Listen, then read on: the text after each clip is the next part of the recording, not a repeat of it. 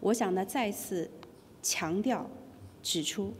美方向加方提出的引渡的这个请求，它的依据是声称华为可能违反美国对伊朗制裁的法案。如果美方以所谓的伊朗制裁法案为由，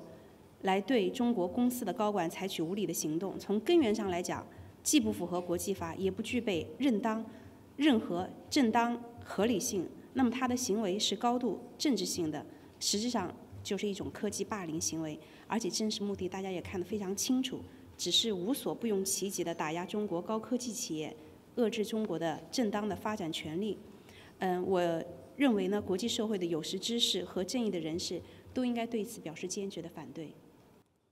嗯，你提出一个假设性的问题，但是呢，我很。